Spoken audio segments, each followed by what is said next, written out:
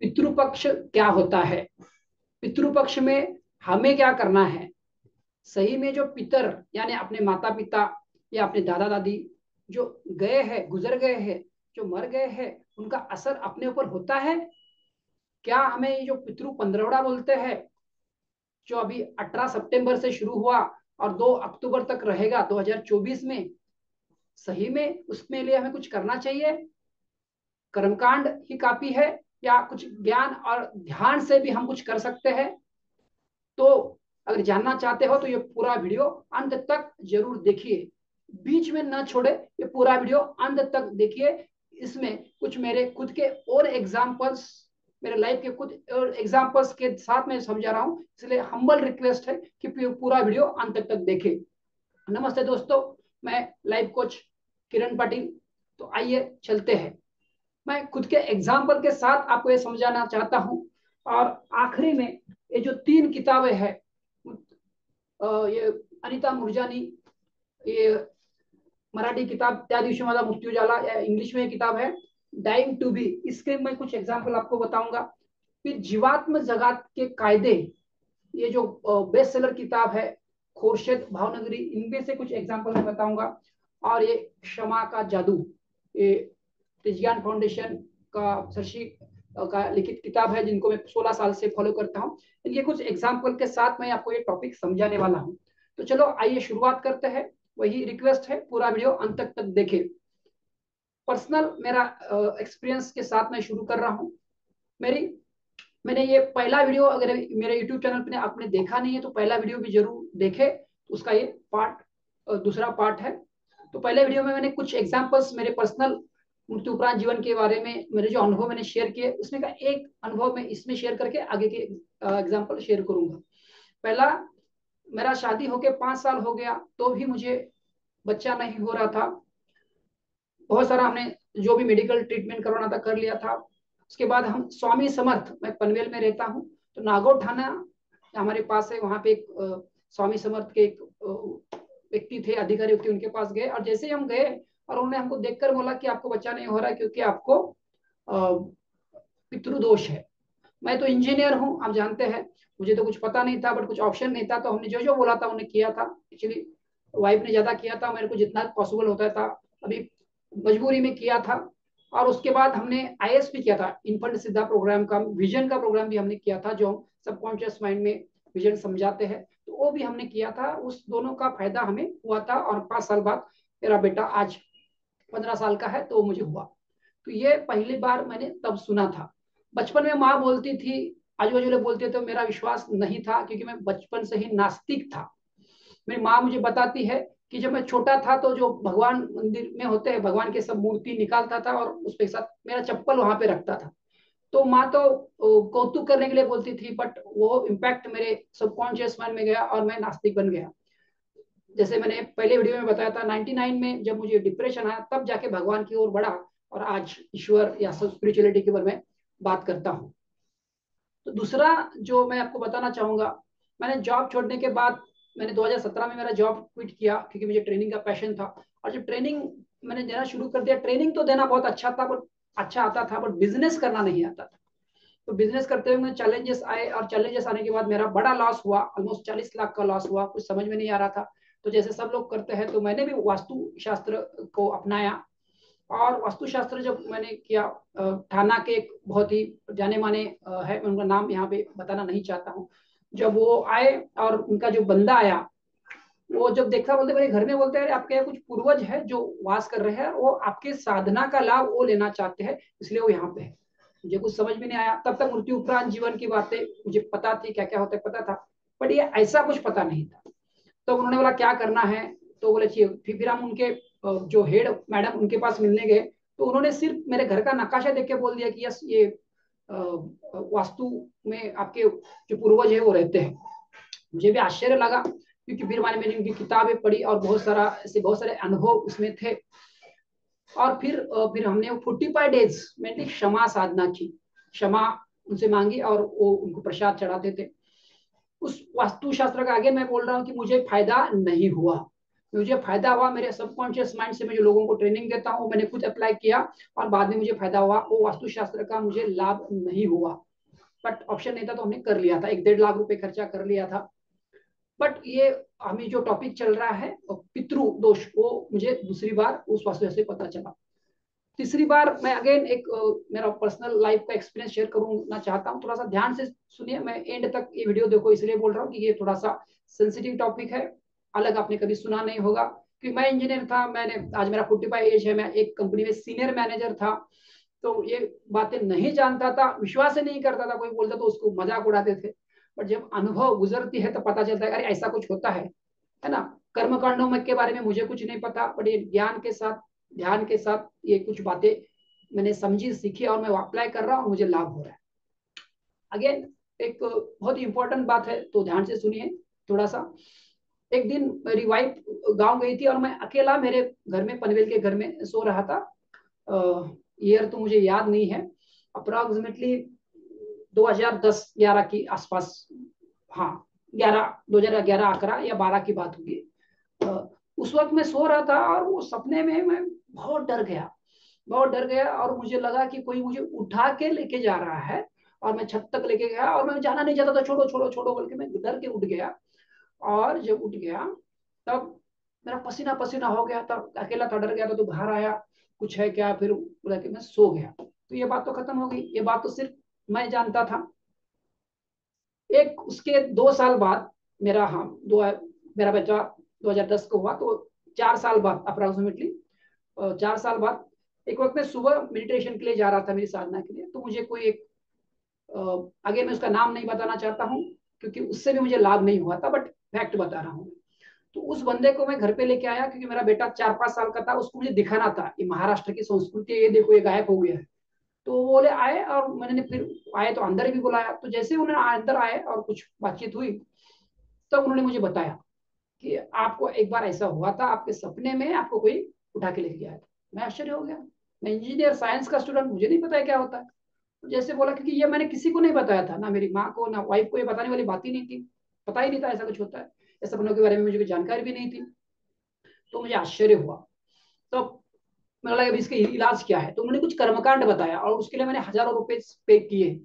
मैं यहाँ नहीं बताना चाहूँगा बट बड़ी बिग अमाउंट पे की और उन्होंने वो कर्मकांड किए बट उससे भी मुझे लाभ नहीं हुआ। मेरा लाभ जो मेरी साधना थी मेरा जो अंतर्मन का प्रोग्रामिंग था, उससे मुझे लाभ हुई। बट इंसान परेशान होता है तो वो करता है, क्योंकि वो, अरे, कुछ ऐसा था। फिर मैंने हमारे काका से पूछा तो बोलता कुछ ऐसे लोग रहते हैं जो गलत काम भी करते हैं।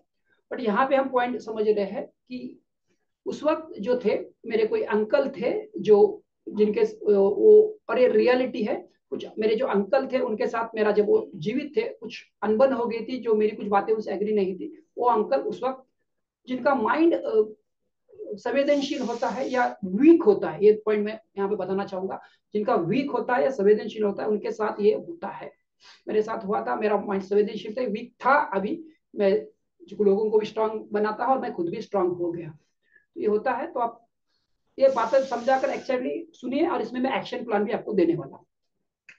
नेक्स्ट और दो मैं बताने वाला हूँ। अगेन मेरे कुछ कजिन भाई और एक मेरे दोस्त है, उनके यहाँ पे उनके दो बेटियों को दोनों को भी बेटियाँ तो कोइंसिडेंस है।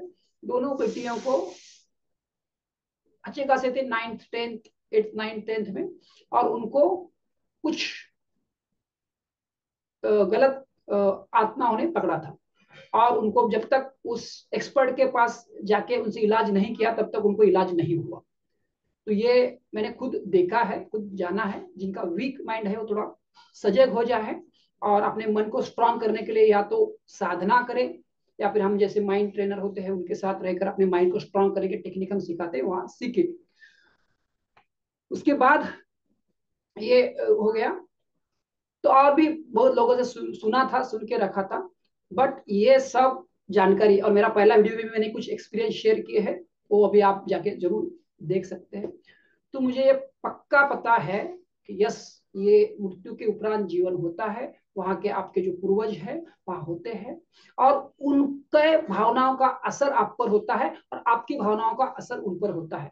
उनकी कुछ इच्छा पूरी नहीं हुई तो वो इच्छा आपके माध्यम से पूरी करवाना चाहते हैं या फिर वो चाहते हैं कि आप उनके वंशज है तो आप उनके लिए कुछ करें। जैसे मैं बोलता हूँ, मेरा प्रॉपर्टी मेरा गाँव का प्रॉपर्टी ऑलमोस्ट एक करोड़ का प्रॉपर्टी है। मैं बोलता हूँ, मेरा एक करोड़ का प्रॉपर्टी है तो किससे आया? मेरे पिताजी, उनके पिताजी, उससे आया ना। और प्रॉपर्टी अगर मेरा है तो उनकी कुछ इच्छाएँ थी उस प्रॉपर्टी के रिलेटेड या उनके गाँव में तो वो भी होगी। तो वो पूरा करने के लिए कुछ कर्मकांड बने हैं तो कुछ लोग कर्मकांड करते हैं बट मुझे कुछ भी उसका जानकारी नहीं है इसलिए मैं यहाँ पे कुछ बोल नहीं रहा हूँ। जो मुझे पता है, मैं आपको बताना चाहता हूँ, क्यों? क्योंकि इसका असर मैंने देखा है मेरे ऊपर कि कभी अपना इमोशंस जागरूक होते हैं। हम अभी लोगों को ट्रेनिंग देते हैं, मैं खुद भी ट्रेनिंग लेता हूँ। पंद्रह लाख रुपए से ज़्यादा मैंने ट्रेनिंग ले खर्चा किया है। पच्चीस से ज़्यादा आध्यात्मिक गुरु से के पास जाके नॉलेज लिया हुआ है। तो कुछ इमोशंस ऐसे होते हैं जो हमको पता नहीं चलता, क्यों आता है इमोशंस और वो इमोशन का अगर हम देखेंगे तो कहीं ना कहीं ये रूट में ये होता है। और अगर हम उस पर काम करेंगे तो हमें उसका फ़ायदा रिज़ल्ट होता है।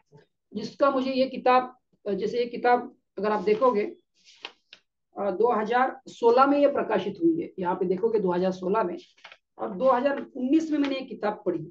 भले ही आ, 2019 में ये किताब पढ़ी भले मैं सरशी के साथ जुड़ा हूँ पिछले 16 साल से बट फिर भी तीन साल लगी ये किताब मेरे पास आने में क्षमा का जादू किताब और स्कूल में पढ़ना इसमें एक चैप्टर है। उस चैप्टर में उन्होंने समझाया सरशी ने पत्थर की लकीरों से मुक्ति उसमें कैरी उसमें मृतकों से जुड़ी लकीरें उसके बारे में समझाया। जब मैंने समझा और मैंने इम्प्लीमेंट किया तो मुझे इसका ज़्यादा लाभ हुआ। और आपको भी इस किताब में मैं जानकारी दे रहा हूँ, इसके जो मेरा वीडियो का लिंक है, इसमें मैं इसका लिंक डालने वाला हूँ। ये ये संडे जो 22 सितंबर हाँ यस 22 सितंबर में इनका पूर्वजों को श्रद्धांजलि या प्रेमांजलि कैसे अर्पण करें, ये फ्री का सेशन है। टोटली फ्री चार घंटे का वो सेशन है। तो मेरा रिक्वेस्ट है, आप ज़रूर अटेंड करें, इसका लिंक मैं डाल दूँगा।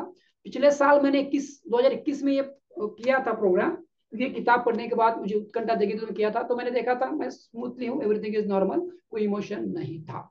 तो मैंने मैंने, क्योंकि मैंने काम किया था, उसको समझकर, उसको यूज़ किया था तो आपको रिक्वेस्ट है 22 सितंबर में जो प्रोग्राम है, वो आप ज़रूर अटेंड करें। तो ध्यान और ज्ञान से आपके पूर्वजों के साथ जो कर्म बंधन बंधे हैं, जो कार्मिक अकाउंट हुआ है, वो क्लोज हो जाएगा, और आप उनको ज्ञान और ध्यान के माध्यम से क्या मदद कर सकते हैं जो बेस्ट मदद है वो बेस्ट मदद आप कर सकते हो और फ्री ऑफ़ कॉस्ट मैंने कुछ सुना है वो आ, कुछ कर्मकांड में हज़ारों लाखों रुपया लगता है और होता भी नहीं होता मुझे नहीं पता बट यहाँ पे फ्री ऑफ़ कॉस्ट और इफ़ेक्टिव तरीके से होता है। इसके लिए मैं आपको आगे दूसरा एग्ज़ाम्पल देना चाहूँगा इस किताब का। अनिता मुरजानी ये किताब मैंने दो तीन बार पढ़ी है ये इन भारतीय सिंधी लेडी थी जो आउट ऑफ़ कंट्री रहती थी और इनका जब डेथ हुआ, मरने के बाद 24 घंटे बाद डॉक्टर ने फिर से बोला कि ज़िंदा है। मतलब ये सब मेडिकल रिपोर्ट्स उसका रिसर्च ये बहुत ही फ़ेमस किताब है। इसका डाइंग टू भी आप ज़रूर पढ़े। और मरने के बाद वो वहाँ गई। मतलब शरीर इनका इधर है। डॉक्टर ने डेट डिक्लेयर करने किया है। सब लोग रो रहे हैं, इसकी भाई आ रहा है, माँ रो रही है। और ये जब वहाँ गई मतलब मृत्यु उपरांत, तब उनको उनके पिताजी मिले। और पिताजी ने उनको बताया, उनके साथ जो कम्युनिकेशन हुआ तो पिताजी ने उनको गाइड किया कि तुम वापिस जाओ, क्योंकि तुम्हारा काम अभी नहीं हुआ है, तुम्हारा पृथ्वी का काम बचा है। तो बोले, तुम निर्णय लेना, मैं तुमको गाइड करने का काम कर सकता हूँ। और फिर वो आगे चली गई, एक लाइन के पास जाती है, पिताजी बोलते ये लास्ट लाइन है, यहाँ से तुम इस दुनिया में आओगे, अगर उससे वापिस जाओगे तो उस दुनिया में जाओगे और तुम्हारा कैंसर ठीक हो जाएगा। उसको बात समझ में आती है और वो वापिस आती है और जैसे वापिस आती है, उसका कैंसर ठीक हो जाता है। फोर्थ स्टेज का कैंसर, बिना कुछ मेडिसिन का ठीक होता है, क्योंकि वो दैवीय शक्ति उनको उधर मिल जाती है और वापिस आ जाती है। तो अभी भी वो जीवित है, उनके यूट्यूब पे चैनल पे आप वीडियो देख सकते हैं उनकी ज़्यादा जानकारी ले सकते हैं। ऐसी मेरे पास सात आठ किताबें हैं, मैं कुछ गिनना चुनाव के बारे में आपको बता रहा हूँ। अरे लास्ट किताब में आपको जानकारी देना चाहता हूँ। वीडियो ज़्यादा लंबा न करने के चक्कर में। जीवात्मा जगत के नियम, जीवात्मा जगत के कायदे the laws of spirit world इस किताब में बहुत सारे एग्जाम्पल्स दिए हैं कि मरने के बाद क्या होता है सेवन लेयर्स होते हैं। आपके, आप अपने जो पूर्व, आप अपने सभ्य संबंधों को कैसे मदद कर सकते हो? कुछ एंजल्स होते हैं, देवदूत होते हैं, वो कैसे आपको मदद करते हैं? बुरी आत्मा कैसे तकलीफ़ देती है, या बुरी आत्मा को कैसे पनिशमेंट मिलती है, ये सब बातें इसमें दी गई है। गरुड़ पुराण में कुछ ऐसा होता है मृत्यु के बाद कुछ कर्मकांड करने होते हैं, वो सब मुझे पहले ये लगता था, बेकार की बातें लगती थी, ये सब फालतू काम है, ऐसा लगता था। साइंस में इंजीनियर वो मुझे सही बातें लगती थी। आज मेरा बेटा पंद्रह साल का है, वो भी शायद मेरे डीएनए चले गए, वो भी बोलता है, भगवान भगवान, कुछ नहीं होता है, आप ही मेरे भगवान तो उसे मुझे समझाने में काफ़ी दिक्कत चैलेंज करना पड़ता है। फिर वो समझता नहीं, पता नहीं कब वो आस्तिक हो जाए ईश्वर की कृपा है, लीला होगी तब। बट ये बातें मैं उसको समझाता हूँ तो ये बातों पार्ट टू वाला बातों को समझता है बट भगवान को अभी नहीं समझता। तो ठीक है, हर एक का अलग अलग यात्रा चल रही है। मुझे इसमें मेन मेरे जीवन के एक्सपीरियंस से आपको बता रहा हूँ, ये सब लाइव मैं यूट्यूब पे डालूँगा, अभी फेसबुक पे आ जाएगा। मेरा डालने का इंटेंशन एक ही है दो इंटेंशन है सॉरी पहला इंटेंशन ये है कि आप अभी जो 22 सितंबर को जो शिविर हो रहा है, जो फ्री ऑफ़ कॉस्ट है, वो आप ज़रूर अटेंड करें। जो आपके और पूर्वज के बीच में जो कार्मिक अकाउंट बने हैं, वो सही अधिकारी पुरुष, यानी सरशी जो है तेजान फाउंडेशन जिनको मैं सोलह साल से फॉलो करता हूँ, और मैं बहुत उनके लिए ग्रेटिट्यूड है मेरे ज़िंदगी क्योंकि उनसे मुझे बहुत ज़्यादा फ़ायदा हुआ है। एक वक्त ऐसा आया था तो मैं हिमालय जाने की मैंने डिसाइड किया था, जो भी चैलेंजेस की वजह से तो उनकी वजह से मैं रुका हूँ। तो मेरा एक ग्रेटिट्यूड है कि मेरा जो माध्यम है उससे मैं आप लोगों को वहाँ तक जोड़ू। और दूसरा मैं एक वीडियो आप लिंक डालूँगा।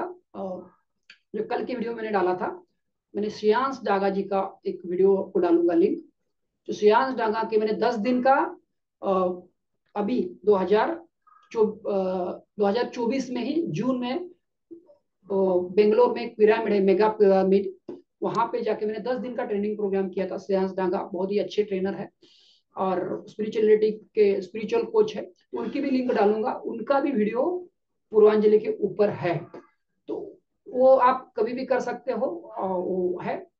बट समझ के साथ अंडरस्टैंडिंग उस टॉपिक को पूरा समझना है तो ये 22 तारीख वाला जो प्रोग्राम है, वो आप करें। ये मेरा पहला इंटेंशन है। और दूसरा इंटेंशन जैसे मैं आपको वीडियो शेयर कर रहा हूँ, आप भी कुछ चैलेंजेस से गुजर रहे हो तो आप लाइव कोचिंग करते हैं बिज़नेस कोचिंग करते हैं तो आप मुझे कॉन्टेक्ट कर सकते हो, जिसमें आपको हेल्प करूँ। और उस पार्ट में अगर कुछ स्पिरिचुअल पार्ट आता है, अगर ये पार्ट आता है तो वो मैं फ्री में ही सिखाता हूँ। वो फ्री में ही बताता हूँ, जैसे ये वाला पार्ट है, वो फ्री में होता है। बट आप मेरे पास वो, ये वाला ज्ञान फ्री में कब ले सकते हो? जब आप मेरे पास पेड में आते हो, तब। तो बेटर ऑप्शन है जो मैं आपको दो ऑप्शन जो दे रहा हूँ दो लिंक मेरे इस वीडियो के लिंक के नीचे आ जाएगी। तो आप उसका ज़रूर लाभ लें। और ये जो पितृपक्ष चल रहा है, इसमें एक हमारे ऋषि ने इसका रिसर्च करके रखा है कि ये पंद्रह दिन में करना चाहिए। इसका साइंस मुझे भी नहीं पता है। मैं इसका स्टडी करके शायद अगर कुछ स्टडी होकर रिसर्च करके मिला तो मैं नेक्स्ट टाइम वीडियो बनाऊँगा उसके ऊपर। आज के डेट में लेकिन ये पंद्रह दिन का इम्पोर्टेंस मुझे नहीं पता। जो है पता, मैं बता दिया, जो नहीं हो पता। बट मैक्सिमम लोग करते हैं, कुछ तो उसके पीछे विज्ञान होगा, जो कर्मकांड होगा, जिनसे जानकारी हो आप उसको ले सकते हैं। बट इसमें करे, ये मेरा हम्बल रिक्वेस्ट है। आपने ये मेरा वीडियो अंत तक देखा, इसके लिए आपका बहुत बहुत धन्यवाद। मेरा वीडियो, मेरा प्रयास आपको अच्छा लगा होगा तो इसको ज़्यादा से ज़्यादा लोगों तक फॉरवर्ड करें, उनके पास भी ये नॉलेज को पहुँचाए। अभी तक मेरे चैनल को सब्सक्राइब नहीं किया तो चैनल को सब्सक्राइब कीजिए, और वो लाइक वाला बटन थोड़ा सा दबा दीजिए सो दैट ये वीडियो यूट्यूब के अलग में आए और ज़्यादा ज़्यादा लोगों तक पहुँचे। आपने फिर से एक बार अंत तक वीडियो देखा, इसके लिए धन्यवाद, फिर मिलते हैं next thank you very much